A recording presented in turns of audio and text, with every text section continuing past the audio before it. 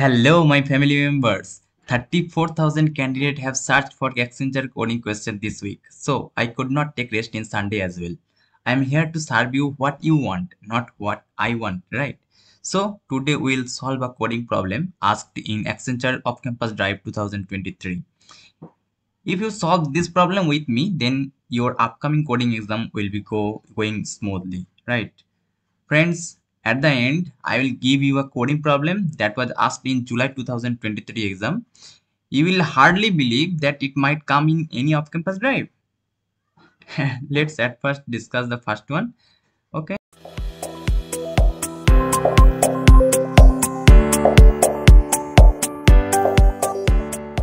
What is the question? The question is uh, we have to print this pattern and the input is 5 guys in this type of problem i mean in the pattern type question we have to focus few things like uh, how many lines are there how many spaces are between two digits and where are the digits being printed. We have to focus on this and we have to actually create a formula so that we will uh, print that pattern that digit uh, in this location right? So we can easily see that there are nine lines. That means i is equal to uh, n is equal to 5 and we are printing how many lines? n into 2 minus 1 that means 5 into 2 minus 1 so we will run our for for n into 2 minus 1 time right? And where are the digits being printed? Just uh, you have to know that in this type of problem we actually run two for loops. One for loop will print the row and other for loop will print the column right? So when and here the digits starting from 1 so we will initialize the ith value i mean in the first for loop we will initialize the value of i is equal to 1 so we have to start the value of j in the next row. Next for loop also should be 1 so when i is equal to 1 and j is equal to 1, that means i is equal to is equal to j, we are printing 1 and you guys look at here, in the second row, 2 is located at 2 comma 2 index and here also i is equal to is equal to j, here also i is equal to is equal to j, here also, here, here, here, here, here. So where i is equal to is equal to j, we are printing the ith value. That means when i is equal to 2 i is equal to 3 i is equal to 4 i is equal to 5 right? So we are printing the ith value. So when we are printing these values this 1 2 3 4 5 6 7 8 9 let's say we are creating a formula for these two right? So here the 2 is located at second row and eighth column. So here i is equal to i is equal to 2 and j is equal to 8 right? So i will create a formula to print this value okay? So what will be the formula to print that? Let's say uh, it is at the 8th so 9 that means uh, the li total line number. Total line number minus i plus 1 it will be compatible with this. Let's say 9 minus i here i is equal to 2 and that that is 9 minus 2 means 7 plus 1 8 so it will print at 8 and we will print the ith value right? We will print the ith value. That means here i is equal to 3 here i is equal to 4 i is equal to 5 so we will print the ith value. So here j is equal to 8 it is not factor but i is equal to 2 it is factor. Just create this formula.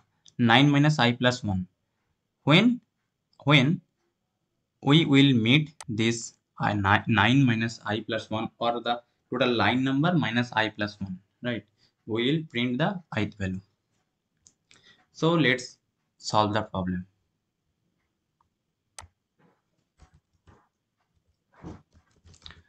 Uh, scanner sc is equal to new scanner.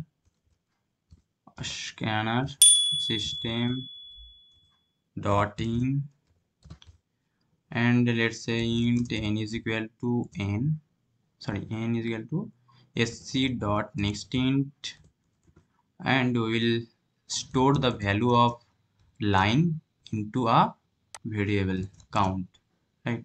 So int count is equal to total line number that is n into 2 minus 1 right? And we will run to for loop. So i int i is equal to 1 i less than is equal to count right? And i plus plus. And we will run a for loop to print the column as well. So i is equal to 1 and uh, i less than equal to count and i plus sorry it will be j actually. J plus plus right? So j j j int j right? Okay now what was the condition we created? That is we have to actually check if i is equal to is equal to j or i is uh, or j is equal to is equal to 9 minus i plus 1 right? So if i is equal to is equal to j or j is equal to j is equal to is equal to count minus i plus 1 if this then print uh, the the ith value right? Print the ith value. Otherwise what will we print? Otherwise we will print a space right? And at the end of and at the end of two for loop I mean when the operation at first row and first I mean in the first row will over then we will print a line right? So we'll print a line. So I think uh, this is okay and we'll give the desired output. Let's run the problem.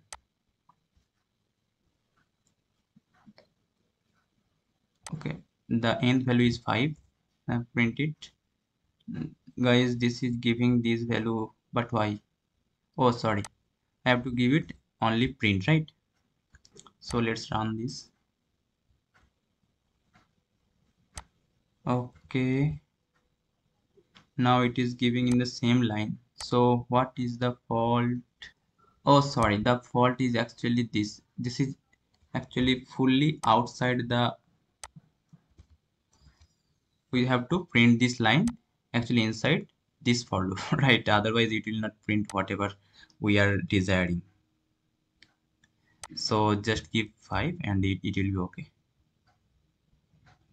Here it is your code so guys in this type of problem just focus on three things. That is where are the digits are being printed? Where are the uh, spaces? How many spaces are there? And how many lines are there?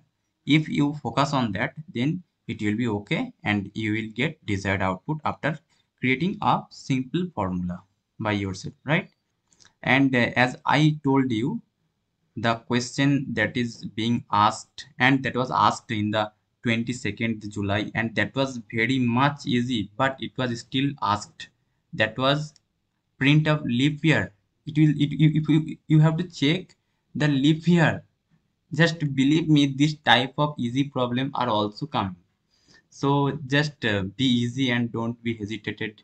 Uh, it will be okay after all right? So thank you for today